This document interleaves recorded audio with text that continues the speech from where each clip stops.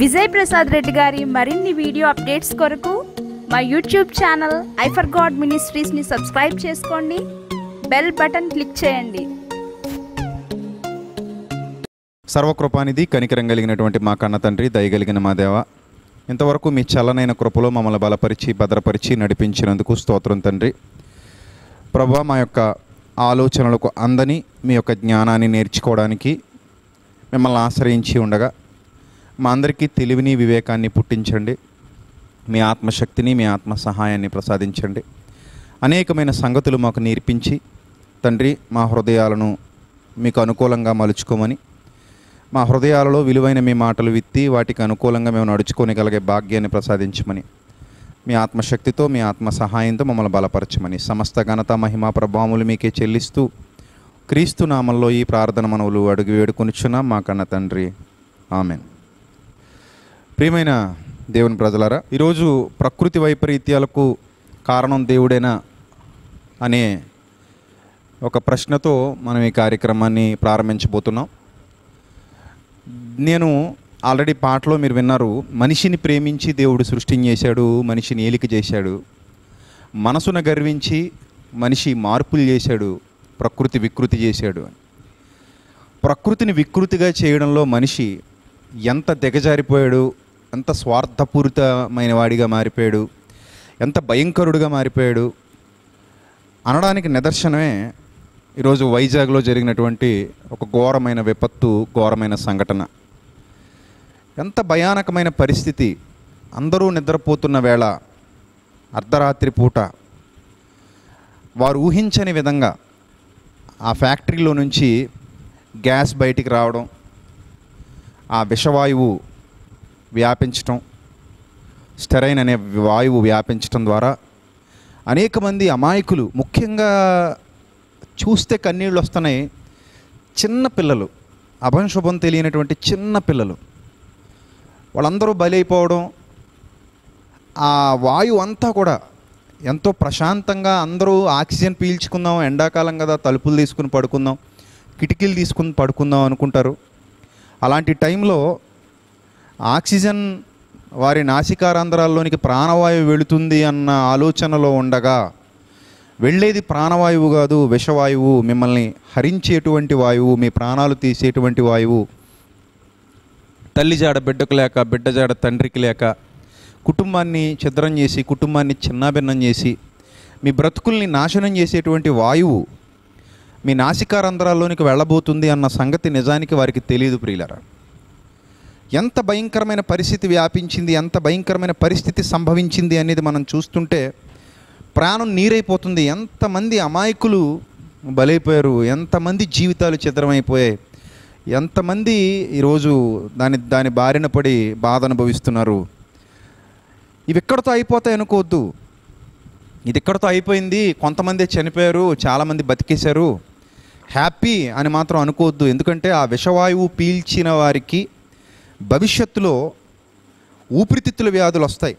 ఊపిరితిత్తుల వ్యాధులు వస్తాయి క్యాన్సర్లు వస్తాయి కిడ్నీలు ఫెయిల్ అయిపోయే పరిస్థితులు వస్తాయి. వీటన్నిటిని కూడా వాళ్ళు భరించాలి వీటన్నిటిని కూడా వాళ్ళు ఎదుర్కోవాలి. ఇక్కడతో ఏది అయిపోలేదు. ఈరోజు వాళ్ళు పీల్చుకున్నటువంటి వాయువు ఎంత ప్రమాదకరమైనది అంటే వాళ్ళ శరీరంలో విషాన్ని నింపి భవిష్యత్తుకు అవరోధంగా మారిపోయి వాళ్ళను ముందుకు సాగనివ్వకుండా ఎన్నో ఇబ్బందుల పాలు చేసేటువంటి ఒక ప్రమాదకరమైన పరిస్థితి అది.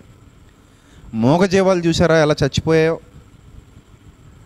మూగజీవాలు పశువులు గేదెలు ఆవులు ఎద్దులు పిల్లులు కుక్కలు చివరికి పాములు కప్పలు కూడా చనిపోయాయండి. పక్షులు నేల రాలిపోయాయి మూగజీవాలు. చెట్లు చెట్ల ఆకులు కూడా మాడిపోయాయి ఆ విష వాయువు ప్రభావానికి. పచ్చని చెట్లు నల్లగా మారిపోయాయి. దేవుడిచ్చినటువంటి అందమైన ప్రకృతిని మనిషి ఎంత దారుణంగా పాడు చేశాడు చూడండి. ఎంత దారుణంగా పాడు చేస్తున్నాడు. ఇది ఇక్కడితో అయిపోదు. ఫ్యూచర్కి చాలా ఇబ్బంది చాలా ఇబ్బంది. ఒంటి మీద దద్దుర్లు వస్తాయి శ్వాసలో ఇబ్బంది కళ్ళ మంటలు చెవులు పనిచేయవు. కిడ్నీలు ఫెయిల్ అయిపోతాయి క్యాన్సర్లు వస్తాయి భవిష్యత్తులో. దీనంతటికీ దీని కారణం ఏంటంటే మనిషి మనసులో ఉన్నటువంటి స్వార్థం. ఎందుకు మనిషి మనసులో ఎంత స్వార్థం పేరుకుపోయింది? అధికారుల నిర్లక్ష్యం సరైన తనిఖీలు జరగకపోవడం అసలు అక్కడ ఫ్యాక్టరీ ప్రజాజీవనం జరుగుతున్న చోట ప్రజలు నివసించే చోట అంత అతి దగ్గరలో అలాంటి ఫ్యాక్టరీలు నిర్మించడానికి గవర్నమెంట్ అనుమతి ఇవ్వడం ఇలాంటివన్నీ కూడా చాలా ప్రమాదకరమైన సంకేతాలు. ప్రకృతిలో భవిష్యత్తు ఎలా ఉండబోతుంది? భవిష్యత్తులో మన పిల్లలు ఎలా ఉండబోతున్నారు? వాళ్ళ జీవితాలు ఎలా ఉండబోతున్నాయని తలుచుకుంటేనే భయం పడుతుంది. భూగర్భ జలాలు అంతరించిపోతున్నాయి. భవిష్యత్తులో తాగటానికి నీళ్ళు ఉండవు. నీటి కోసం యుద్ధాలు చేసేటువంటి పరిస్థితి రావచ్చు. భవిష్యత్తులో కరువులు ఎక్కువైపోతాయి. భూతాపం పెరిగిపోతుంది. పంటలు సరిగ్గా పండవు. Global warming. పంటలు పండవు. కరువులు వస్తాయి. కరువులు వస్తే ఒకనాడు తమ పిల్లల్ని వండుకు తిన్నారన్న చరిత్ర మనం చూసాం భవిష్యత్తులో ఇంకెలాంటి ఘోరాలు నేరాలు భయంకరమైన పరిస్థితులు విపత్తులు మన పిల్లలు చూడబోతున్నారో భవిష్యత్తులో మన పిల్లల్ని మన పిల్లలు ఎలా ఉండబోతున్నారో మనం చచ్చిపోయి వెళ్ళిపోతామో లేకపోతే మనం చావకముందే ఎలాంటి ఇంకా ఎన్ని ఘోరాలు నేరాలు మన కళ్ళతో చూడాల్సి వస్తుందో అన్న భయం అన్ని ఈరోజు మనుషులు రుచి చూస్తున్నారు ఈ ఈ సంఘటనల ద్వారా. భవిష్యత్తును తలుచుకుంటే చాలామందికి భయం పడుతుంది ప్రియులారు. ఎందుకంటే మనిషి మట్టి మెదడులో పుట్టినటువంటి స్వార్థపూరితమైన ఆలోచన మహా అయితే అరవై ఏళ్ళు బ్రతుకుతాడు డెబ్బై ఏళ్ళు బ్రతుకుతాడు. ఈ అరవై డెబ్బై ఏళ్ళ బ్రతుకులో మనిషి చేసేటువంటి తప్పులు అన్నీ ఇన్ని కావు. ఈ ప్రకృతిలో మనిషి చేసేటువంటి తప్పులు అన్నీ ఇన్ని కావు. రోజు రోజుకి మనం తవ్వుకుంటూ వెళితే ఎన్ని తప్పులు మనిషి చేస్తున్నాడో ప్రకృతిని వికృతిగా ఎంత మార్చాడో మీకు అర్థమవుతుంది. దీనికి సంబంధించిన హిస్టరీ చెప్తాను జాగ్రత్తగా చూడండి. మీకు స్క్రీన్ మీద ఒక చెట్టు చూపిస్తున్నాను చూడండి. దాన్ని లిక్విడ్ యాంబర్ అంటారు. Liquid amber. Sweet gum trees అని కూడా అంటారు వాటిని. ఈ లిక్విడ్ యాంబర్ అనే చెట్టులో ఈ ప్రకృతిలో దేవుడు ఉంచినటువంటి ఈ చెట్టులో ఈరోజు మనం ఏదైతే ఈ వాయువు గురించి విషవాయువు అని ఏదైతే చూపిస్తున్నారో ఆ వాయువు స్టెరైన్ అనే వాయువు ఏదైతే ఉందో ఈ స్టెరైన్ అనే వాయువు మూలాలు మూల పదార్థం అనేది ఈ చెట్టు నుంచి వచ్చేటువంటి జిగురు ఒక జిగురు లాంటి పదార్థం మీరు చూస్తున్నటువంటి ఈ చెట్టు నుండి వస్తుంది. ఈ చెట్టు నుండి వచ్చేటువంటి ఆ జిగురు లాంటి పదార్థంలో స్టెరైన్ అనేది లభిస్తుంది. ఈ జిగురులో చాలా ఔషధ విలువలు ఉంటాయి. ఈ చెట్టులో కూడా చాలా ఔషధ విలువలు ఉంటాయి. ఈ చెట్టు పళ్ళు కీళ్ళ నొప్పులు తగ్గడానికి ఉపయోగిస్తారు. ఈ చెట్టు బెరడు నీళ్ళ విరేచనాలు వాంతులు తగ్గడానికి ఆయుర్వేద ఔషధంగా ఉపయోగిస్తారు. ఈ చెట్టుకున్న ఈ జిగురులు ఈ స్కిన్ ప్రాబ్లమ్స్ పుండ్లు వంటివి తగ్గడానికి ఉపయోగిస్తారు. అలాగే కాదు తినేటువంటి చాలా పండ్లు లేకపోతే ప్రకృతిలో లభించేటువంటి చాలా ఆహార పదార్థాల్లో ఈ స్టెరైన్ అనేది మనకు లభిస్తుంది ఉంటుంది. అంటే తక్కువ మోతాదులో ఉంటుంది అనమాట తక్కువ శాతంలో ఉంటుంది. తక్కువ మోతాదులో తక్కువ శాతంలో ఉంటే ఎప్పుడైతే మానవుడు దీని మీద పరిశోధన చేశాడో ఓ ఇదేదో చాలా మంచి మూలకం దొరికింది మనకి. స్టెరైన్ అనేది చాలా మంచి పదార్థం ఇది. దీన్ని మనం కృత్రిమంగా ఉత్పత్తి చేస్తే దీన్ని మనం కృత్రిమంగా ఉత్పత్తి చేస్తే కమర్షియల్గా మనకి చాలా ఉపయోగపడుద్ది అని ఆలోచించినటువంటి మనిషి ఏం చేశాడో తెలుసా? దీన్ని కృత్రిమంగా తయారు చేయటం మొదలుపెట్టాడు.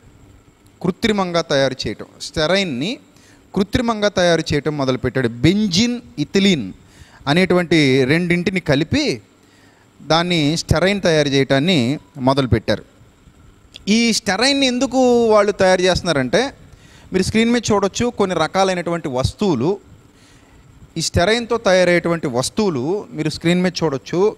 దీంతో ఫుడ్ ప్యాకేజింగ్ బాక్సులు తయారు చేస్తారు. ఫుడ్ ప్యాకేజింగ్ బాక్సులు.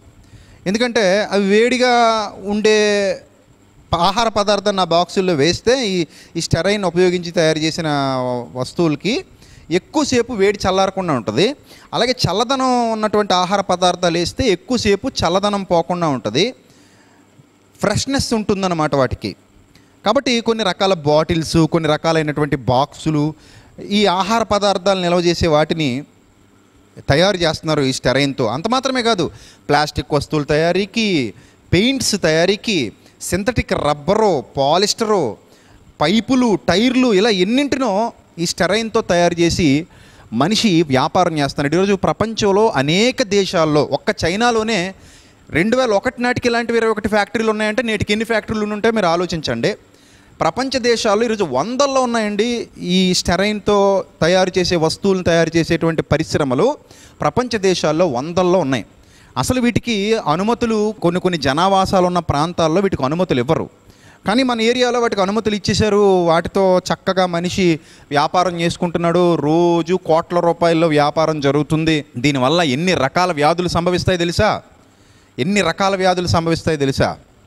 ఈ ఈ వస్తువులు వాడటం వల్ల ఈ ఆహార పదార్థాలు ఆ వస్తువులతో ఆ వస్తువుల్లో వేయడం వల్ల ఆ వేడి ఆహార పదార్థం ఈ స్టెరైన్తో తయారు చేసినటువంటి వస్తువులు వేయడం వల్ల ఆ ఆహార పదార్థం ఈ రెండు కలిసి చర్య జరిపి రకరకాల వ్యాధులు వస్తున్నాయి. ఆ వ్యాధులు ఎలాంటివి ఏ విధమైన వ్యాధులు వస్తున్నాయి ఏ విధమైన హెల్త్ ప్రాబ్లమ్స్ వస్తున్నాయి మనం చూస్తే తలనొప్పి మైగ్రేన్ నొప్పులు అంటారు. తలనొప్పి అసలు తగ్గదా తలనొప్పి? చాలా విపరీతమైన బాధ అనుభవించాలి. మైగ్రేన్ తలనొప్పి. తర్వాత వికారం కంటి సమస్యలు శుక్లాల సమస్యలు ముఖ్యంగా ఊపిరితిత్తుల సమస్యలు ఉదర సంబంధమైన వ్యాధులు రకరకాల క్యాన్సర్లు మన శరీరంలో ఉన్నటువంటి నాడీ వ్యవస్థ స్తంభించిపోవటం మెదడు సంబంధిత వ్యాధులు జన్యులోపంతో పుట్టేటువంటి పిల్లలు ఇవేవి కూడా కంపెనీలకు పట్టవు. ఇన్ని రకాల వ్యాధులతో మనిషి సతమతమైపోతున్నా కూడా వీటి ద్వారా ఇన్ని రకాల వ్యాధులు మనిషికి సంక్రమిస్తున్నాయని తెలిసి కూడా చాలా దేశాల్లో ఈ కంపెనీలకు అనుమతులు వచ్చేస్తున్నాయి. చక్కగా ఈ కంపెనీలు స్టార్ట్ చేసుకుంటున్నారు. బడాబాబులు అందరూ ఈ కంపెనీల్లో పెట్టుబడులు పెడతారు నాయకులు పెట్టుబడులు పెడతారు. ఇందులో రాజకీయ నాయకులకు వాటాలు ఉన్నా ఆశ్చర్యపోక్కర్లేదు పోయేదేవాడు? పోయేదేవాడు? వాళ్ళకి ఏ ఇబ్బంది లేదు కదా. పోయేది మధ్యతరగతి కుటుంబీకులు బేదలు ఆ చుట్టుపక్కల ఉన్నటువంటి అమాయకులు వాళ్ళ పిల్లలు. ఈరోజు ఎంతోమంది పిల్లల్ని చంకనేసుకుని తల్లి తండ్రి వాళ్ళు బతుకుతారో తెలియదు వాళ్ళు దగ్గుతూ వాళ్ళు కళ్ళు తిరిగిపోతూ ఏం జరుగుతుందో అర్థం కాక బాబుని పాపని ఎక్కడ తీసుకెళ్తే బ్రతుకుతాడని ఆ అర్ధరాత్రి పూట తెల్లవారుజామున పరుగులు తీశారు చూడండి. వాళ్ళ బాధ వర్ణనాతీతం అండి. వాళ్ళ బాధ వర్ణనాతీతం. అసలు అలాంటి వాళ్ళు చూస్తుంటే ఎంత జాలి వేస్తుందంటే అయ్యో పాపం అనిపిస్తుందండి. దీనివల్ల పాపం ఎంత ఇబ్బందులు పడతారో ఎంత శ్రమ పడతారో ఇప్పుడు ఆ బాబు చనిపోయాడు పాప చనిపోయారు చిన్నపిల్లలు చనిపోయారు. చిన్నపిల్లలు చనిపోయారండి ఈరోజు ఈరోజు చాలామంది చిన్నపిల్లలు చచ్చిపోయారు. కొన్ని వెలుగులోకి వచ్చాయి కొన్ని వెలుగులోకి రావు. కొన్ని మీడియాలో చూపిస్తారు కొన్ని మీడియాలో చూపించరు. కొన్ని లెక్కలు చెప్తారు కొన్ని లెక్కలు చెప్పరు. భోపాల్ ఘటన భోపాల్ గ్యాస్ దుర్ఘటన గ్యాస్ లీకేజీ దుర్ఘటన. ఆ రోజు కూడా లక్షల్లో ఇప్పటికీ లక్షల్లో సఫర్ అవుతున్నారు. ఆ రోజు కూడా వేలల్లో చచ్చిపోతే గవర్నమెంట్ లెక్కల ప్రకారం మూడు వేల ఏడు వందల మంది చచ్చిపోయారని చూపించారు. కానీ ఇరవై వేల పైచీలకు మనుషులు ఆ రోజు చచ్చిపోయారని చెప్పి వినికిడి. భోపాల్ దుర్ఘటనలో మధ్యప్రదేశ్లో. అలాంటిదే ఇది కూడా. అలాంటిదే. ఆ రోజు కూడా మనుషుల నిర్లక్ష్యం వాళ్ళ స్వార్థపూరిత ప్రయోజనాల కోసం దాని ఓనరు అప్పటికప్పుడే ఒక రాజకీయ నాయకుడి దయ వల్ల రాత్రికి రాత్రే ఫ్లైట్ ఎక్కేసి విదేశాలకు చెక్కేశాడు. ఇక్కడ ఉంటే చంపేస్తారని. సో వాడి మీద ఏ కేసులు లేవు చక్కగా పోయాడు. ఎవడయ్యా పోయిందంటే బేదోడు. ఈరోజు కూడా చాలామంది అంటున్నారు ఆ కంపెనీని మూసేయాలని లేకపోతే వాళ్ళ మీద కేసులు ఫైల్ చేయాలని ఏం ఉండదు. నాలుగు రోజులు మీడియాలో మాట్లాడతారు తర్వాత చక్కగా జరిగిపోయి జరిగిపోతాయి అందరూ మర్చిపోతారు తర్వాత ఎవరి పనుల్లో వాళ్ళు నిమగ్నం అయిపోతారు ఈ రెండు రోజులే దీని గురించి మాట్లాడుకుంటారు. ఎక్కడ పడితే అక్కడ ఇలాంటి కెమికల్ ఫ్యాక్టరీలకి పర్మిషన్స్ ఇచ్చేస్తున్నారు. ఎన్ని కెమికల్ ఫ్యాక్టరీస్ ఎంత కెమికల్ వాటర్ నదుల్లో కాలువల్లో బోధుల్లో వదిలేస్తున్నారు. ఎన్ని పశువులు వాటిని తాగుతున్నాయి ఎన్ని పంట పొలాలకు వాటిని పెడుతున్నారు. ఎంతమంది దానివల్ల ఎఫెక్ట్ అవుతున్నారు. ఇవన్నీ ఇవన్నీ ప్రభుత్వాలకు అవసరం లేదు ఇవన్నీ మేధావులకు అవసరం లేదు ఇవన్నీ ఎవరికి అవసరం లేదు. ప్రకృతిలో మనిషికి ఇంత భయంకరమైన విపత్తులు సంభవిస్తున్నాయి. మనిషి పరిస్థితి ఏంటి అసలు? మనిషి మనుగడ కొనసాగాలా వద్దా? మనిషి ఇంకా బతకాలా వద్దా? మనతో పాటు జీవరాశులు ఉన్నాయి అవి బతకాలా వద్దా? కొన్నాళ్ళు మన పిల్లలు చక్కగా ఈ భూమి మీద జీవించాలా వద్దా? ఇంక ఇవేమీ ఆలోచనలు లేవు. ఏం ఆలోచనలు లేవు. ఎంత దారుణం అంటే మనిషి ఎంత స్వార్థపరుడు అంటే ఒక పక్క అలా ఉంటే ఈరోజు అమరావతి పోరాట సమితి అని ఉంది కదా అమరావతిలో రాజధాని కావాలని కొంతమంది పోరాటం చేస్తున్నారు కదా. ఆ పోరాట సమితికి చెందినటువంటి కొందరు క్రూరులు కొందరు మూర్ఖులు ఫేస్బుక్లో ఫోటోలు పెట్టి ఆ పోస్టులు పెట్టారు. ఏమని పెట్టారు తెలుసా? అయ్యిందిరా మీకు బాగానే అయిందిరా మీకు ఇలాగే జరగాలరా మా అమరావతి రాజధాని మార్చి వైజాగ్ రాజధాని అంటారా మీరు అందుకే ఇలా జరిగిందిరా అన్నారంటే వాళ్ళు అసలు మనుషులా లేకపోతే పశువులా? అర్థం కాని పరిస్థితి. ఏంటి మనుషుల్లో ఎంత నైతికత కోల్పోయారా? ఎంత విలువలు కోల్పోయి బ్రతుకుతున్నారా? ఎంత అజ్ఞానంగా మనుషులు బ్రతుకుతున్నారా? అనిపిస్తుంది. అరే మీ కుటుంబాల్లో ఎవరైనా చచ్చిపోయినా కూడా ఎలాగే రియాక్ట్ అవుతారా? సో ఈరోజు పొద్దున్న నేను ఫేస్బుక్లో ఆవేదనతో ఒక పోస్ట్ పెట్టగానే నేను చెప్పాను కదా ఒక ఉగ్రవాద సంస్థ క్రైస్తవ ఉగ్రవాద సంస్థ. వాళ్ళకి దగ్గర పడ్డాయి రోజులు. ఆ క్రైస్తవ ఉగ్రవాద సంస్థ కావాలని కొరువుతో తలగొక్కుంటున్నారు వాళ్ళు. ఆ క్రైస్తవ ఉగ్రవాద సంస్థకి చెందిన కొంతమంది ఆ కామెంట్లు పెడుతున్నారు. ఏమైనా తెలుసా? ఇలా వచ్చినా కరోనా వచ్చి చచ్చిపోయినా లేకపోతే ఇలా గ్యాస్ లీక్ అయి చచ్చిపోయినా ఆ దేవుని ఉగ్రతే దేవుడే చంపాడు కావాలని అని అన్నారంటే అప్పుడు అనిపించింది మీరు నిజంగా ఎంత మానసిక రుగ్మతతో బాధపడుతున్నారో మీరు వినే బోధలు ఎంత దరిద్రంగా ఉన్నాయో. అంటే ఎప్పుడు కూడా ప్రేమ చల్లారిపోయి దేవుడు వాళ్ళని చంపేస్తున్నాడు వీళ్ళని చంపేస్తున్నాడు మా జోలికి వస్తే వాణ్ణి చంపేస్తాడు వీణ్ణి చంపేస్తాడు అనే బోధలు ఆ పనికిమాలినోడు బోధించే బోధలు వినడం వల్ల ఈ వాణ్ణి చంపేశాడు వీణి చంపేశాడు ఈ బోధలు వినడం వల్ల వీళ్ళలో ప్రేమ చచ్చిపోయింది. ప్రేమ చచ్చిపోయి ఎక్కడైనా విపత్తు సంభవించినా ఎవరికైనా పిల్లలు చచ్చిపోతున్నా ఎవరైనా వృద్ధులు చచ్చిపోతున్నా అయ్యో పాపం అన్న మాట నోటి వెంట రాదు. వాళ్ళు పాపులు కాబట్టి చచ్చారు అంటారు. ఈరోజు ఫేస్బుక్లో విజయ్ బాబు అని ఒక సహోదరుడు ఉన్నాడు ఆయన. ఆయన ఒక పోస్ట్ పెట్టాడు. చాలా ఆలోచనాత్మకంగా. సమరయుడు మంచి సమరయుడు దారిని వెళ్ళిపోతూ ఉన్నప్పుడు దొంగల చేతిలో చిక్కి కొట్టబడి అక్కడ పడవేయబడినటువంటి ఆ వ్యక్తిని చూసినప్పుడు లేవీడు యాజకుడు చూసి వెళ్ళిపోయారు. వాళ్ళు వాళ్ళు ఇలాంటి క్యారెక్టర్లు పరిశైలు ఈ టైప్ క్యారెక్టర్లు. వాళ్ళు ఏమనుకుంటారంటే వీడు పాపాత్ముడు కాబట్టి దొంగలు కొట్టేసి ఉంటారు పాపాత్ముడు కాబట్టి ఇలాంటి శిక్ష వచ్చేసింది. వీడికి మనం హెల్ప్ చేయకూడదు అని వెళ్ళిపోయి ఉంటారు. వాళ్ళ భావజాలం వీళ్ళ భావజాలం ఒకటే.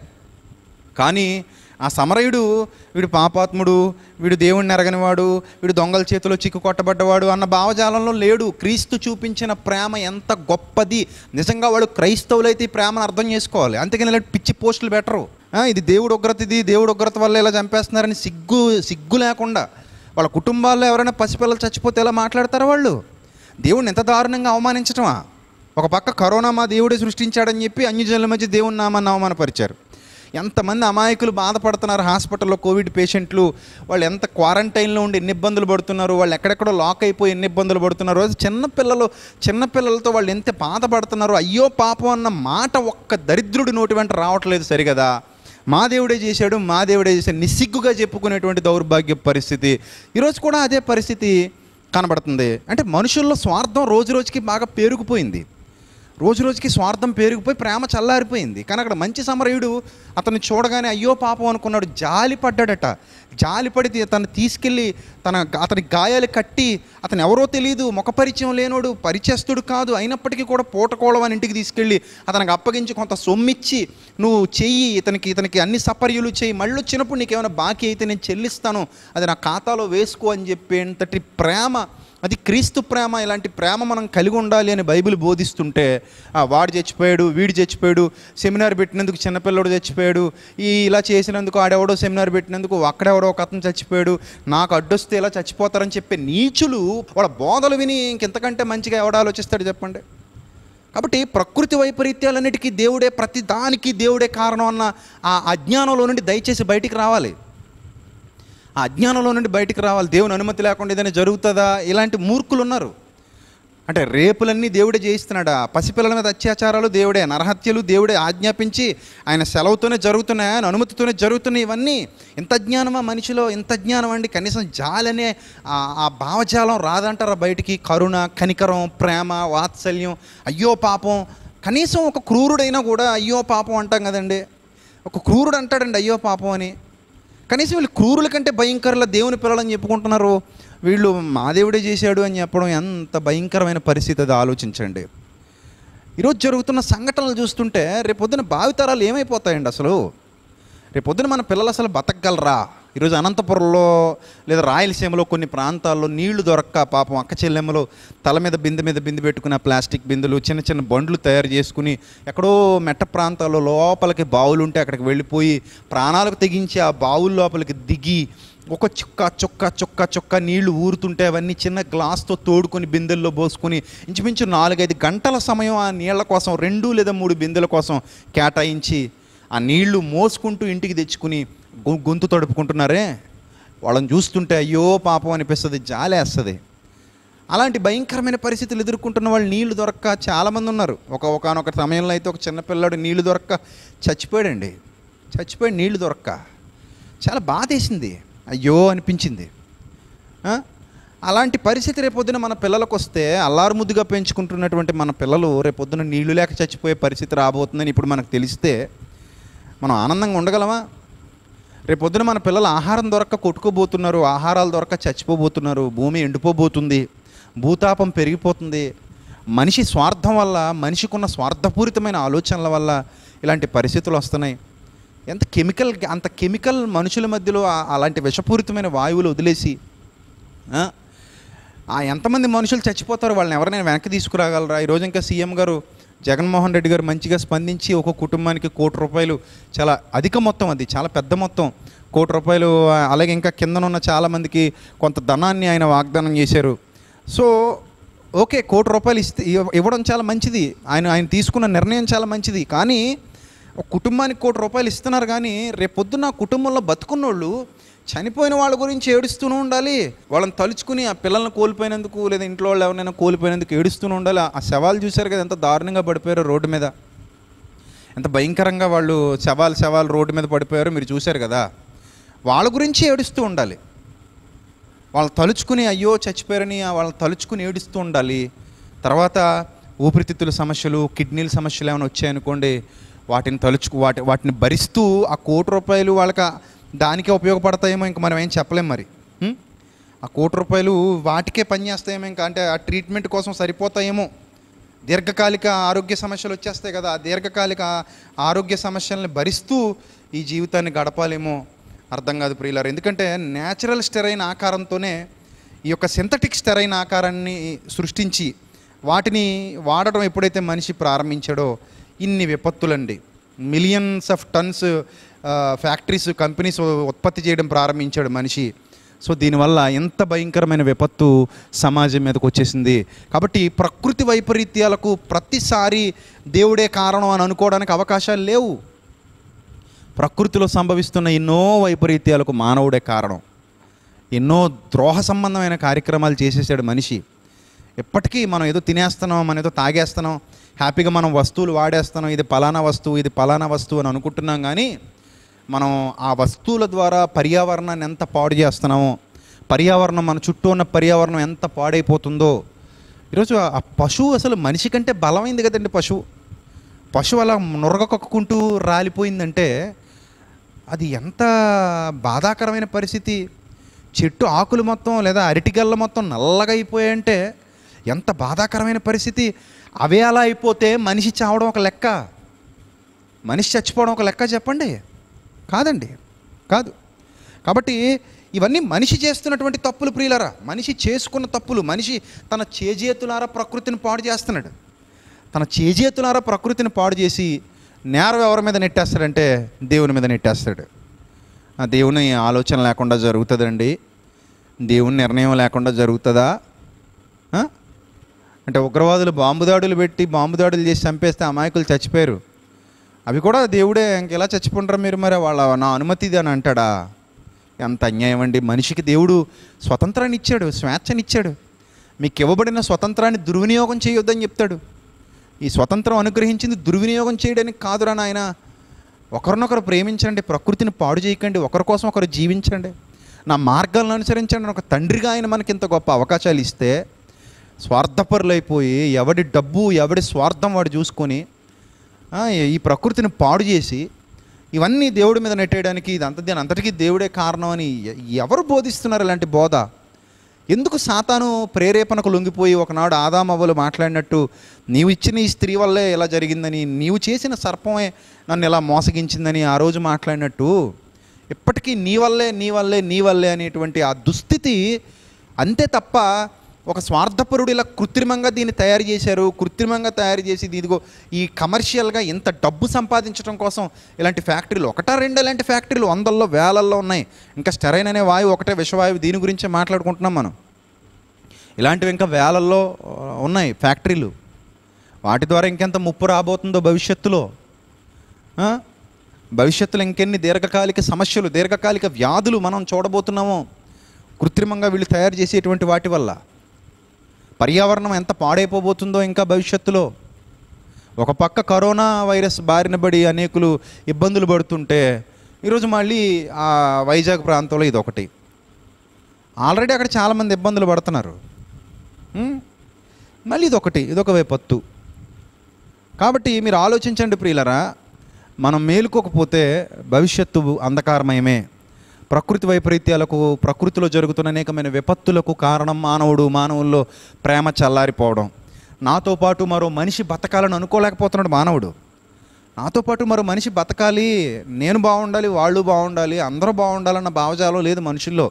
నేనే బాగుండాలి నేనే అన్నీ దో దోచేసుకోవాలి నాకే అంతా కావాలి నే నాకే నా పిల్లలే బాగుండాలి నా కుటుంబమే బాగుండాలి అనుకుంటున్నారు దౌర్భాగ్యులు. అలా అనుకోవడం బట్టే ఈరోజు ఈ విపత్తు. ఈరోజు ఈ బాధాకరమైన పరిస్థితి. ప్రియులారా కుటుంబాల కోసం ప్రార్థించండి. క్రైస్తవులు కదా మన బాధ్యత. ఆ కుటుంబాలన్నిటి కోసం ప్రార్థించండి. ఉదయం నుంచి నా మనసు అసలు బాగాలేదు చాలా బాధపడ్డాను నేను అవి చూసిన తర్వాత. అయ్యో అనిపించింది. అయ్యో ఏం చేయగలం మనం? ఏం చేయగలం? బడాబాబులు మనం ఏం చేయలేం. మనం ప్రార్థన మాత్రం చేయగలం. తండ్రి నీ చిత్తం అయితే ఆ కుటుంబాలను ఒకసారి జ్ఞాపకం చేసుకో ప్రభువా మనుషులు చేసిన తప్పులకు వీళ్ళు బలైపోతున్నారు.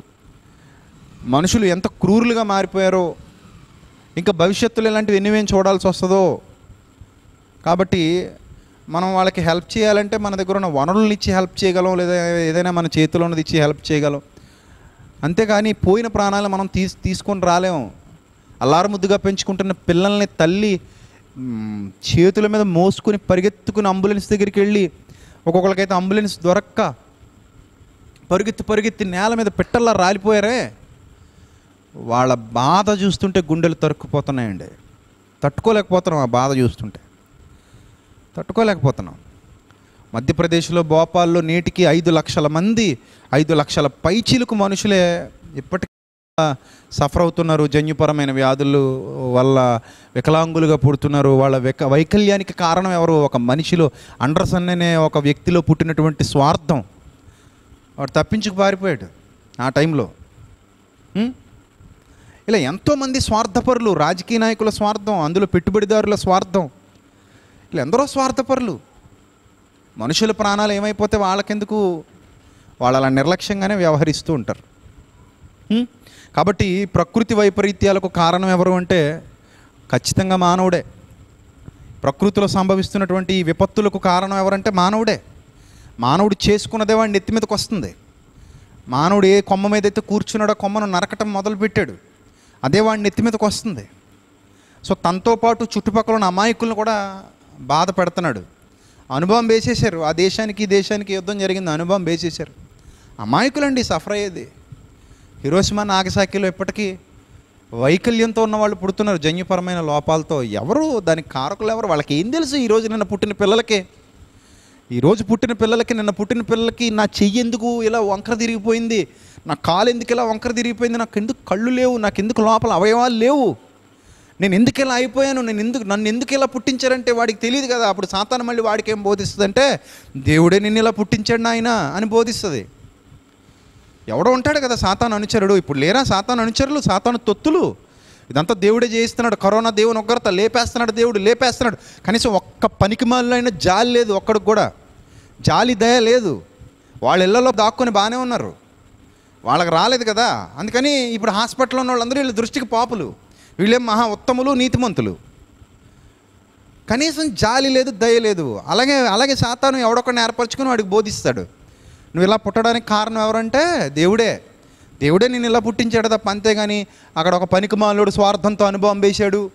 లేకపోతే ఒక పనికిమాలుడు పెట్టిన ఫ్యాక్టరీ వల్ల భోపాల్లో ఇలాంటి దుర్ఘటన జరిగి ఇప్పటికీ జన్యు జన్యు లోపాలతో పిల్లలు పుడుతున్నారు.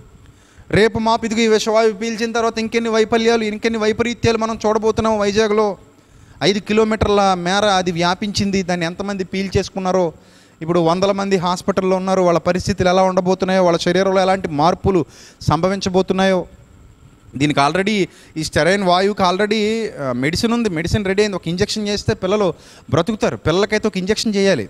అంటే పది నిమిషాల లోపే చేయాలి. పది నిమిషాల లోపు ఇంజెక్షన్ ఎక్కడ చేయగలరు? పెద్దవాళ్ళకైతే ఆక్సిజన్ ఆక్సిజన్ పెడితే బతికేస్తారు.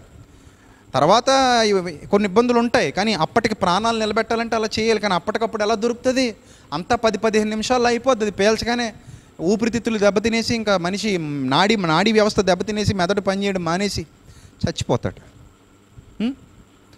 కాబట్టి ప్రతి దానికి దేవుని నిందించడం ప్రతి దానికి దేవుణ్ణి అవమానించడం చాలా తప్పు ప్రియులరా. చాలా తప్పు. మనం ఏమైనా ఉత్తములవండి మనం నీతివంతులమండి మనం పుట్టినప్పటి నుంచి ఇప్పటివరకు అన్ని నీతి కార్యాలే చేసామా మన బ్రతుకుల్లో తప్పులు జరగలేదా? మనం పాపాలు చేయలేదండి. కాబట్టి ఒక వ్యక్తిని చూసినప్పుడు ఆ మంచి సమరయుడు ఏ దృష్టితో అయితే చూశాడో పడిపోయిన వాడిని లేదా ఇబ్బందులు ఎదుర్కొంటున్న వాడిని మనం కూడా ఆ దృష్టితోనే చూడాలండి. మనం ప్రే మనల్ని ప్రేమించే వాళ్ళనే మనం ప్రేమిస్తే ఇక మనం మనకు దేవుని కుమారులు ఎలా అవుతాం మనం? ఒకసారి ఆలోచించండి మనసు పెట్టి. మనం మనల్ని ప్రేమించే వాళ్ళనే మనం ప్రేమిస్తే ఇంక మనం దేవుని పిల్లలం ఎలా అవుతామండి? శత్రువులనే ప్రేమించమన్నాడు కదా. ఆ మంచి సమరేడుకున్న జ్ఞానం వివేకం బుద్ధి మనకే ఉండాలి కదా. మా దేవుడే నిన్ను శిక్షించాడు మా దేవుడే నిన్ను ఇలా చేశాడంటే రేపు పొద్దున్న సమాజానికి వెళ్ళి సువార్త ఏం ప్రకటిస్తారండి? అలా భయపెట్టి వాళ్ళు వాళ్ళు మారిపోతారా? అది విశ్వాసం ఆ పోనేది ఆ విశ్వాసం దేవుడు అంగీకరించే విశ్వాసం అది. ఎంత అజ్ఞానంలోనికి సాతాను క్రైస్తవ్యాన్ని నెట్టేశాడు. ఇప్పటికీ ఇలాంటి కామెంట్లు చేస్తున్నారంటే జాలి దయ కరుణ లేదు వాళ్ళకి. వాళ్ళ కుటుంబాల్లో ఎవరికైనా వస్తే అప్పుడు అర్థమవుతుంది మీరు ఎఫెక్ట్ అయితే మీకు ఎఫెక్ట్ అయితే అర్థమవుతుంది మీ పిల్లల్ని మీరు కోల్పోతే మీ మనవల్ని మీరు కోల్పోతే మీ కుటుంబాల వాళ్ళని మీరు కోల్పోతే అప్పుడు తెలుస్తుంది బాధ ఏంటో. యువతలోడు బాధ అయ్యో పాపం అని అప్పుడు అప్పుడు అయ్యో నేను అయ్యో పాపం అని అనలేకపోయాను అన్న బాధ అప్పుడు కలుగుతుంది. మన దాకా వస్తే కానీ తెలియదు మనకి. అప్పటి వరకు మనం ఏదో నీతిమంతుల్లా ఫీల్ అయిపోతాం. మహానీతివంతుల్లా ఫీల్ అయిపోయి ఇదిగో పాపులారా మిమ్మల్ని దేవుడు తుడిచేస్తున్నాడు పాపుల మీదకి దేవుని ఉగ్రత వచ్చేసిందని పిచ్చి మాటలు మాట్లాడతాం. పాపిని మార్చాల్సిన విధానం అదా? పాపిని రక్షించవలసిన విధానం అదా? వాళ్ళకు బోధించవలసిన విధానం అదా? ఒకసారి ఒక్కసారి ఆలోచించండి మనసు పెట్టి. కాబట్టి జరుగుతున్న వైపరీత్యాలన్నిటికీ కారణం దేవుడు కాదండి మానవుడే. మానవుడే. మానవుడు ఇలాంటి ఎన్నో దుష్క్రియలు ఎన్నో దు- ఎన్నో స్వార్థపూరితమైన పనులు స్వార్థపూరితమైన ఆలోచనలతో చేయడం వల్ల ఇలాంటి విపత్తులు మనం చూస్తున్నాం. ఇంకా భవిష్యత్తులో ఎన్ని చూడబోతున్నాం మనకు తెలియదు ప్రార్థించండి మన పిల్లల భవిష్యత్తులు. క్రీస్తు అక్కడ ఆలస్యం అయితే మన పిల్లలు ఎలా ఉండబోతున్నారో వాళ్ళ జీవితాలు ఎలా ఉండబోతున్నాయో అప్పటికి ఇంకెన్ని దుర్బోధలు రాబోతున్నాయో. ఎంతమంది దుర్బోధకులు తమ స్వార్థపూరిత ప్రయోజనాల కోసం వాక్యాన్ని వక్రీకరించబోతున్నారో. దేవుని నామాన్ని అవమానించడానికి ఇంకా సాతాన్ ఎంతమందిని లేపబోతున్నాడో ఎంతమంది మూర్ఖుల్ని ప్రవేశపెట్టబోతున్నాడో క్రైస్తవ సమాజంలోనికి ఇంకా ఎన్ని ఉగ్రవాద సంస్థలు రాబోతున్నాయో క్రైస్తవ సమాజంలోనికి. కాబట్టి ప్రార్థన చేయండి ప్రియులరా ఆ కుటుంబాల కోసం అలాగే అక్కడ సఫర్ అవుతున్న వాళ్ళ కోసం ఒక క్రైస్తవుడిగా ప్రార్థించవలసిన బాధ్యత మనకుంది. వాళ్ళకి దేవుడు కృపను అనుగ్రహించాలి వాళ్ళకి దేవుడు కృపను చూపించాలి. మనం ఆయన పక్షాన వాళ్ళకి ఏదైనా సహాయం కావాలంటే మనం చెయ్యాలి. సో మంచి ఆలోచనలతో మంచి భావజాలంతో ఉండండి.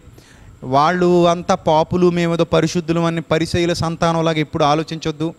పరిసయుడు అలాగే ఆలోచించాడు ఆ సొంకరిని చూసి. ఈరోజు కూడా చాలామంది దుర్మార్గులు అలాగే ఆలోచించి ఆ పాటలు రాశారు వాళ్ళు. నరహంతకులు బలైపోతున్నారు వ్యభిచారులు బలైపోతున్నారు ఇది నరబలి జరిగిపోతే పాటలు రాశారు. కాబట్టి అలాంటివి మనసులో కూడా రానివ్వకండి. మన ఆత్మీయత చచ్చిపోద్ది మనలో ఉన్న ప్రేమ చచ్చిపోద్ది జాలి చచ్చిపోద్ది కరుణ చచ్చిపోద్ది.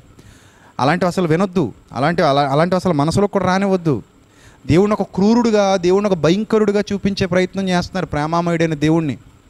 కాబట్టి ఒక సమరయుడు ఎలాగైతే మంచి సమరయుడు ఆ పడిపోయిన వ్యక్తి విషయంలో మంచి ఆలోచన జాలి దయ కలిగి ఉన్నాడో అలాంటి జాలి దయ మనం కూడా కలిగి ఉండాలి. ఎందుకంటే దేవుడు చెప్తున్నాడు రోమిలకు రాసిన పత్రిక పన్నెండవ అధ్యాయము దయచేసి అందరూ చూడండి. తొమ్మిదో వచ్చిన మీ ప్రేమ నిష్కపటమైనదే ఉండవలను. చెడ్డదానిని అసహించుకుని మంచిదాన్ని హత్తుకుని ఉండి సహోదర ప్రేమ విషయంలో ఒకని ఒకడు అనురాగము గలవారే. ఘనత విషయంలో ఒకరినొకడు గొప్పగా ఎంచుకునుడి. ఆసక్తి విషయంలో మాంద్యులు కాక ఆత్మీయందు తీవ్రత గలవారే ప్రభువును సేవించుడి. నిరీక్షణ గలవారే సంతోషించుచు శ్రమయందు ఓర్పు గలవారే ప్రార్థనయందు పట్టుదల కలిగి ఉండుడి. పరిశుద్ధుల అవసరాలలో పాలు పొందుచు శ్రద్ధగా ఆతిథ్యం ఇచ్చుచు ఉండి మిమ్మల్ని హింసించు వారిని దీవించుడి. చూసారా మిమ్మల్ని హింసించు వారిని దీవించుడి దీవించుడు కానీ క్షేపింపవద్దు సంతోషించు వారితో సంతోషించండి. ఏడ్చు వారితో ఏడవండి. సంతోషించే వారితో మీరు సంతోషించండి. ఏడ్చే వారితో ఏడవండి అన్నాడు తప్ప ఏడ్చే వారిని చూసి నాట్యం ఆడండి అని చెప్పలేదు. ఏడ్చే వారిని చూసి భలే అయిపోయిందిరా మీకు దేవుని ఒకరితో వచ్చేసిందని చెప్పలేదు. లేదా అమరావతి ఎవరో ఈరోజు పెట్ట ఈరోజు ఫేస్బుక్లో చూశానని చెప్తున్నాను కదా. వాళ్ళంతా క్రూరులు అంటే మాదే రాజధాని ఉండాలి. ఆ వైజాగ్ రాజధాని అవ్వకూడదు. మాదే రాజధాని. సో మేము భూములు ఇచ్చేసాం. ఇక్కడ ఎవడో భూములు కొనేసుకున్నాడు. కాబట్టి మాకే రాజధాని కావాలి. మా రాష్ట్రం వేరు మీ రాష్ట్రం వేరు. మా జిల్లా వేరు మీ జిల్లా వేరు మా ప్రాంతం వేరు మీ ప్రాంతం వేరు. చి చి చీ అనిపిస్తుందండి. ఇలాంటి వాడు చీ అనిపిస్తుంది. మనుషులు కాదు వీళ్ళు. పశువుల నయం వీళ్ళకంటే పశువుల నయం. బాగానే జరిగింది మీకు. అసలు అలాంటి వాళ్ళ మీద క్రిమినల్ కేసులు ఫైల్ చేయాలి. మీకు బాగానే జరిగింది. ఇలాగే జరగాలని ఎవడైతే ఫేస్బుక్లో పోస్టులు పెట్టాడో వాళ్ళ మీద క్రిమినల్ కేసులు ఫైల్ చేయాలి. అలా ఉన్నారు మనుషులు. ఎంత క్రూరత్వమా ఎంత భయంకరమైన పరి పరిస్థితి. కాబట్టి ప్రియులరా మనం అలా ఉండకూడదు. మనం ఆడు ఏడ్చి వారితో ఏడవండి. వారితో మనస్సు కలిసి ఉండండి. మనస్సు కలిసి ఉండండి అంటాడు.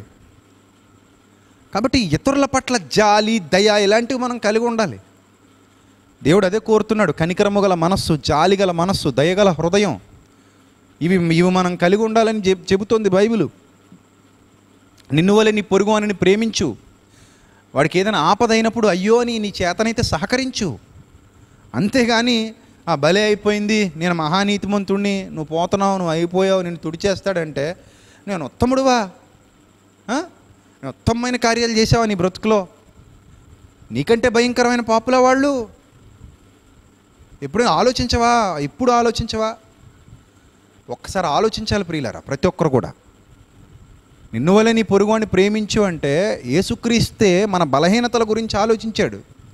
పోనీలే పాపం ఏదో తప్పు చేశారులే క్షమిద్దాం మారు మనసు పొందారు కదా అని మనల్ని కృపతో క్షమించాడు. కానీ ఆ భావజాలం మనకు లేదు. ఆ భావజాలం మనకు లేదు. ఆయన ఎన్నో మార్లు మనల్ని క్షమించాడు. కానీ మనం ఇతరుల్ని ఒక్కసారి కూడా క్షమతో చూడలేం. వాళ్ళకి ఏదైనా ఇబ్బంది కలిగిందంటే "ఆ, భలే భలే కలిగింది నీకు ఇదిగో దేవుడే నీకు పంపించేశాడు. ఇది దేవుడి వల్లే కలిగేసింది. నగరంలో గ్యాస్ లీక్ అయ్యి రాజోల దగ్గర చాలామంది చచ్చిపోయారు. అప్పుడు ఈ ఉగ్రవాద సంస్థ నాయకుడు రాజోల్లో నేను మీటింగ్ పెడితే నా మీటింగ్ ఆపేశారు అందుకని నగరం కాలిపోయింది అక్కడ ఉన్న వాళ్ళందరూ చచ్చారు దేవుడు ఉగ్రత అన్నాడు. అసలు ఈ మీటింగ్ ఆపిన వాళ్ళు ఎవరు? ఆ నగరంలో చచ్చిపోయింది ఎవరు? అసలు వాళ్ళకి వీళ్ళకి సంబంధం ఉందా అసలు? అసలు ఈ భావజాలం ఎక్కడది? కాబట్టి ఆ భావజాలం మనకు పనికిరాదు. అది మంచి పని మంచి పద్ధతి కాదు. ఏ సేవకుడైనా సరే అది మంచి పద్ధతి కాదు. ప్రేమతో స్పందించాలి. చేతనైతే ఇతరుల పట్ల ప్రేమ చూపించాలి. అయ్యో పాపం అనాలి. యేసుక్రీస్తు తనను కొడుతున్న వారిని తన తిడుతున్న వారి గురించి కూడా ఏమని మాట్లాడో తెలుసా? తండ్రి వీరు ఏం చేయించున్నారు వీరు వీరిని క్షమించన్నాడు. కానీ ఈ పైశాచిక ధోరణి ఏంటి? వాడు చావాలి వీడు చావాలి వాడు చచ్చాడు వీడు చచ్చాడు. ఇదే ఆ కిందనున్న వాళ్ళు అలవరుచుకుంటున్నారు. కాబట్టి చాలా తప్పు ప్రియులారా అలాంటి వాళ్ళు ఎవరైనా ఉంటే దయచేసి మారండి. లేదా మీ ప్రాణాలకు మీరే ఉత్తరవాదులు ఇంకా మిమ్మల్ని ఎవడో బాగు చేయలేడు. మీరు అలాంటి భావజాలంతోనే బతికి చచ్చిపోతే. కనీసం ఎక్కనైనా ఒకసారి ఆలోచన పునరాలోచన చేసుకోండి. పునరాలోచన చేసుకోండి. హాస్పిటల్లో ఉన్న వ్యక్తి గురించి ఎలా మాట్లాడాలి? చనిపోయిన వ్యక్తి గురించి ఎలా మాట్లాడాలి? ఆ కుటుంబాన్ని ఎలా ఆదరించాలా? లేకపోతే తూట్లు పడవాలా? ఇబ్బందులు పడుతున్న వాళ్ళకి మనం సాయం చేయాలా? తప్పులు మనిషి చేస్తే ముప్పు వస్తుందా? లేకపోతే దేవుడే కావాలని మనుషుల్ని ప్రేరేపించి తప్పులు చేయిస్తున్నాడా? దీనికి కారకులు ఎవరు? మనుషులా? దేవుడా? ఇవన్నీ కూడా విజ్ఞతతో వివేకంతో ఆలోచించాలి. అప్పుడు ఒక నిర్ణయానికి రావాలి. క్రీస్తు ప్రేమ ఏంటి? ఏ ప్రేమను మనకు నేర్పిస్తున్నాడు? మనం సువార్త ప్రకటించడానికి వెళుతున్నామంటే ఏ విధంగా మనం సువార్త ప్రకటిస్తాం? దేవుని ఉగ్రత అయితే ఎలా ఉంటుంది? మనుషుల తప్పిదాలు ఎలా ఉంటాయి? ఇవన్నీ కూడా మనకు తెలియాలి ప్రియులారా. కాబట్టి ఇవన్నీ కూడా మీరు మనస్ఫూర్తిగా మంచి మనసుతో ఆలోచిస్తారని కోరుకుంటున్నాను. అలాగే మీకు మరొక ఇంపార్టెంట్ విషయం చెప్తాను జాగ్రత్తగా వినండి. వైరస్ అనేది ఈ కరోనా గురించి మీకు కొంచెం ఎక్స్ప్లెయిన్ చేస్తాను జాగ్రత్తగా వినండి. వైరస్లు అనేవి మనిషికి మంచి చేసేవి కూడా ఉన్నాయి. ఎస్ మనిషికి మంచి చేసేవి కూడా ఉన్నాయి. అన్ని వైరస్లు మనిషికి ప్రమాదకరమైనవి కావు. పేజ్ థెరపీ అని ఒకటి ఉంటుంది. మీకు స్క్రీన్ మీద కొన్ని ఇమేజెస్ చూపిస్తున్నాను జాగ్రత్తగా చూడండి. పేజ్ థెరపీ అంటారు దాన్ని. అందులో ఏం చేస్తారు తెలుసా? బ్యాక్టీరియా అనేది ఉంటుంది కదా బ్యాక్టీరియా. బ్యాక్టీరియా కంటే కూడా చిన్నది వైరస్. కొన్ని మంచి చేసే బ్యాక్టీరియాలు ఉన్నాయి. కొన్ని మనిషికి మంచి చేసే బ్యాక్టీరియాలు ఉన్నాయి. కొన్ని మనిషికి హాని చేసే బ్యాక్టీరియాలు ఉన్నాయి. అలాగే వైరస్లన్నీ మనిషికి హాని చేసేవి కావు. వైరస్లన్నీ కూడా మనిషికి కొన్ని కొన్ని వైరస్లు మనిషికి మేలు చేసేవి కూడా ఉన్నాయి. మీరు స్క్రీన్ మీద కొన్ని ఇమేజెస్ చూడొచ్చు. ఇందులో బ్యాక్టీరియా పేజెస్ అనే వైరస్లు ఉంటాయండి బ్యాక్టీరియా పేజెస్ ఈ పేజ్ థెరపీ అంటారు దీన్ని. ఈ బ్యాక్టీరియా పేజెస్ అనే వైరస్లు బ్యాక్టీరియాలకు మాత్రమే సంక్రమిస్తుంది ఈ వైరస్ ఈ రకమైన వైరస్లు బ్యాక్టీరియాలోని ప్రవేశించి వాటిని నాశనం చేసి తద్వారా వృద్ధి చెందుతాయి. ఇవి మానవ కణాలని ఎంత మాత్రం ఇన్ఫెక్ట్ చేయలేవు చేయవు కూడా. కాబట్టి బ్యాక్టీరియా వలన మనిషికి వచ్చేటువంటి వ్యాధుల్ని నయం చేయడానికి ఈ వైరస్లని ఆ బ్యాక్టీరియాల మీదకి ఉపయోగిస్తారు అంటే మనలోనికి ప్రవేశపెడతారనమాట ఉదాహరణకి హెపటైటిస్ బి కానీ డయేరియా కానీ ఇలాంటి కొన్ని రకాల వ్యాధులు బ్యాక్టీరియా వల్ల సంక్రమించేటువంటి వ్యాధులు మనలోనికి వచ్చినప్పుడు ఈ బ్యాక్టీరియోఫేజెస్ అనేటువంటి వైరస్ని లోపలికి ప్రవేశపెట్టడం ద్వారా ఈ ఫేజ్ థెరపీ ద్వారా ఆ వైరస్ వచ్చేసి ఈ బ్యాక్టీరియాని చంపేస్తుంది. సో ఆ విధంగా మనిషికి మేలు చేసేటువంటి వైరస్లు కూడా ఉన్నాయి బ్యాక్టీరియాలను చంపేసి. అర్థమవుతుందా? ఈ వీటి వల్ల మనిషికి మేలే తప్ప కీడు జరగదు. అలాగే మనం నివసించే భూమి కార్బన్ సైకిల్ కూడా ఈ బ్యాక్టీరియా పేజెస్ అనేవి చాలా అవసరం. అవి చాలా ఉపయోగపడతాయి. కాబట్టి వైరస్లు అనగానే అవి అన్ని మనిషికి హాని చేసేవి కావు. అలా అని కొన్ని మేలు చేసేవి కూడా ఉన్నాయి. బ్యాక్టీరియాలు అనగానే అన్నీ హాని చేసేవి కావు కొన్ని మేలు చేసేవి కూడా ఉన్నాయి. అలాగే మరి ముఖ్యంగా మీరు గమనించవలసినటువంటి మరో విషయం ఏంటంటే పశువుల్లో కానీ జంతువుల్లో కానీ లేదా కొన్ని రకాలైనటువంటి కీటకాల్లో కానీ ఉండేటువంటి వైరస్లు వాటిలో ఉన్నంత వరకు వాటికి ఏ ప్రాబ్లం ఉండదు. ఇప్పుడు డెంగ్యూ దోమ అంటాం కదా డెంగ్యూ ఫీవర్ అంటాం. ఆ వైరస్ అనేది లేదా క్రిమి మనలోనికి వస్తే మనకి ప్రాబ్లం మనకి జ్వరం వస్తుంది. ఆ ఆ దోమలో ఉన్నంత వరకు దోమకి ఏం కాదుగా? మీకు అర్థమైందా? అలాగే కొన్ని రకాల వైరస్లు ఆ పశువుల్లో పక్షుల్లో కీటకాల్లో ఉన్నంత వరకు వాటికి ఏ ఇబ్బంది ఉండదు. మనలోకి వస్తేనే మనకి ఇబ్బంది. కొన్ని రకాల వైరస్లు మనకి మేలుకరంగా ఉంటాయి కొన్ని ఏమో హాని చేస్తూ ఉంటాయి. కాబట్టి వైరస్ వచ్చింది కదా అని ప్రతిదీ దేవుని మీద నెట్టేయొద్దు. అంటువ్యాధులు వచ్చాయి కదా అని ప్రతిదీ దేవుని మీద నెట్టేయొద్దు. దేవుని అనుమతి లేకుండా జరుగుతాయా? ఆ దేవుని ఉద్దేశం లేకుండా ఇది జరుగుతుందా? అని అనొద్దు. మంచి మనసుతో ఆలోచించండి. దేవుడు మీకు వివేకం ఇస్తాడు. మీ మీ మనసుని మీరు ఎలా తయారు చేసుకుంటే అలా ఉంటుంది. నేను తప్పును ఖండిస్తున్నాను తప్ప వ్యక్తులను దేవి ద్వేషించట్లేదు. వ్యక్తుల మీద నాకు ఎలాంటి ద్వేషం లేదు. వ్యక్తుల మీద ద్వేషం ఉంటే నేను వేరే రూట్లో వెళ్ళేవాడిని. కానీ నాకు అలాంటిది ఏం లేదు. అందరూ బాగుండాలని కోరుకునేటువంటి వ్యక్తిని నేను. నేను ఎవరికి ఏ హాని చేయలేదు. నేను ఎవరికి ఏ కీడు చేయలేదు. ఎవరైనా బాధలో ఉంటే నేను సంతోషించి డ్యాన్స్ వేయలేదు. సో అలా అలా చేసే వాళ్ళకి నేను బుద్ధి చెప్తున్నాను నా వరకు నేను నా చేతనైనంత సహాయమే ఎవరికైనా చేయడానికి చూస్తాను. అది దేవుడు నాకు ఇచ్చినటువంటి మనసు. ఈరోజు కూడా నేను ఎందుకు ఇలా మాట్లాడుతున్నానంటే క్రైస్తవ సహోదరులు కొంతమంది మూర్ఖులుగా మారిపోతుంటే చూసి తట్టుకోలేక దేవుని నామాన్ని దేవుని పిల్లలని చెప్పుకునే వారే అవమానపరుస్తుంటే చూసి తట్టుకోలేక ఇలా మాట్లాడాల్సి వస్తుంది. సో ప్రతిదానికి ఒక హద్దు ఉంటుంది. ఒక మనిషికి కోపం వస్తుంది అంటే ఎందుకు వస్తుంది?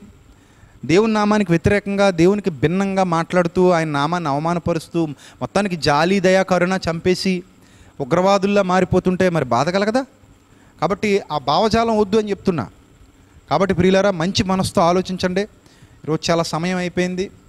సో మంచి మనసుతో ఆలోచించండి మంచి ఉద్దేశాలు కలిగి ఉండండి. ఇతరుల గురించి మాట్లాడేటప్పుడు కానివ్వండి సఫర్ అవుతున్న వాళ్ళు బాధపడుతున్న వాళ్ళని చూసినప్పుడు కానివ్వండి గంతులేయకూడదండి పడిపోయిన వాడిని చూసి నవ్వేవాడు శాడిస్ట్ అంటారండి వాడిని. ఎవరైనా కాల్ జారి పడిపోయారనుకోండి పక్క పక్క పక్క నవ్వుతున్నారు అనుకోండి శాడిస్ట్ అంటారు. "ఆ, నీకు భలే జరిగిందిరో నీకు భలే జరిగిందిరో అంటే శాడిస్ట్ అంటారు. అది మంచి లక్షణం కాదు అది. చెయ్యందించి నుంచి లేపాలి.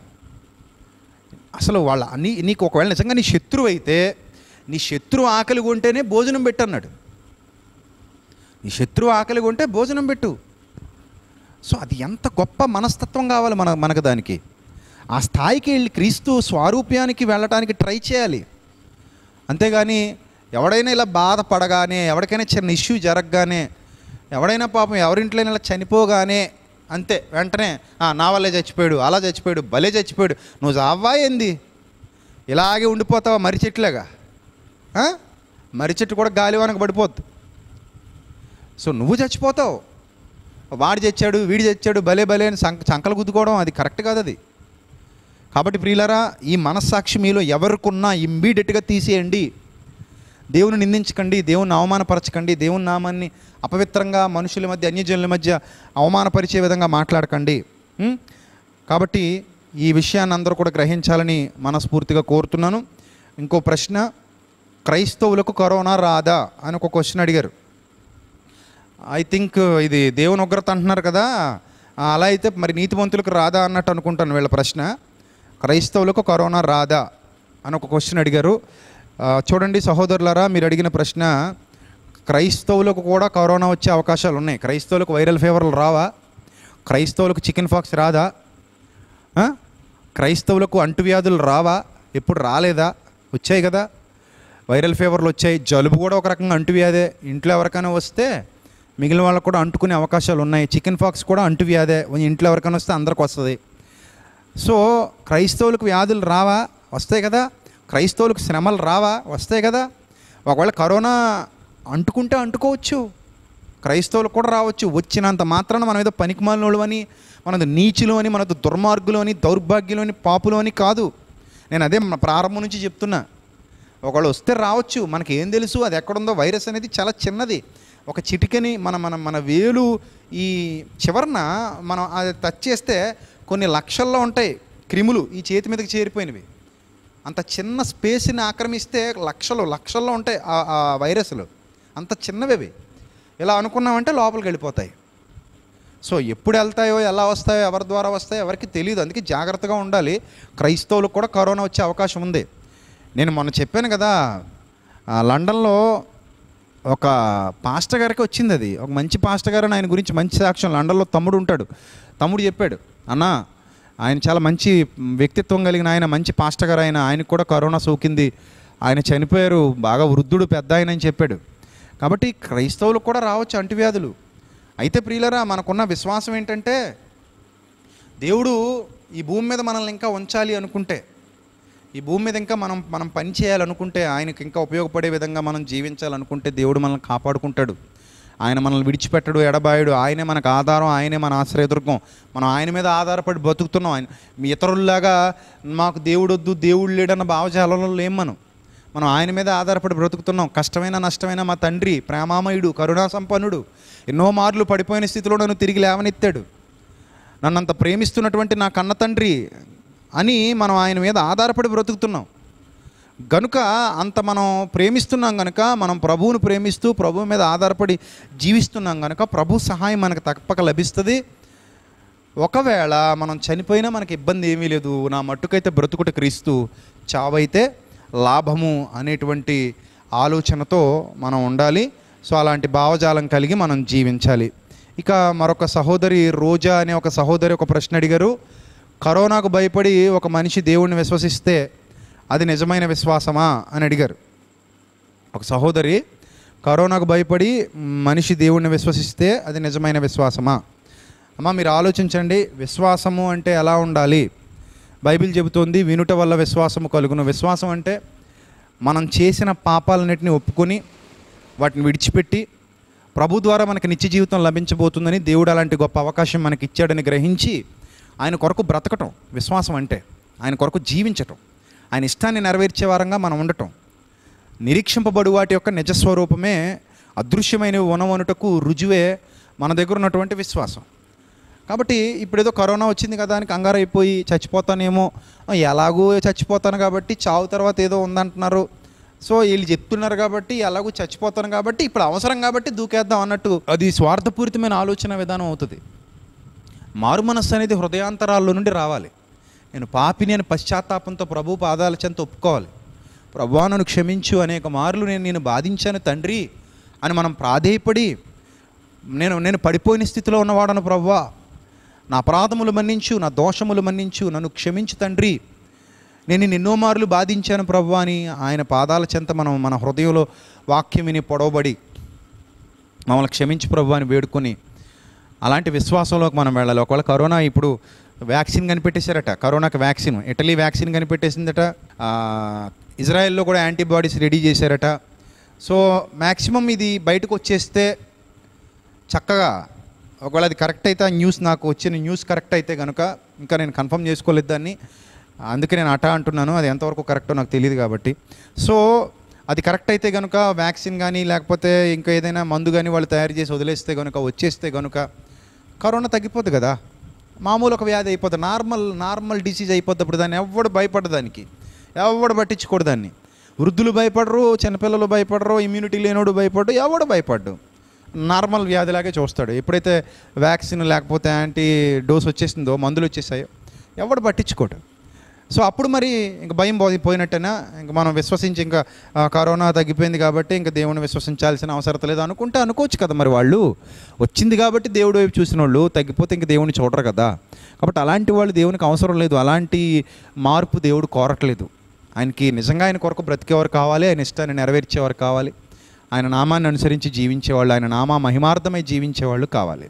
కాబట్టి అలాంటి మంచి మనస్సాక్షి కలిగి దేవుని కొరకు నిలబడేవారుగా మనమందరం ఉండాలని మనస్ఫూర్తిగా కోరుతూ ఈ యొక్క కార్యక్రమాన్ని ఈరోజు ముగిస్తున్నాను.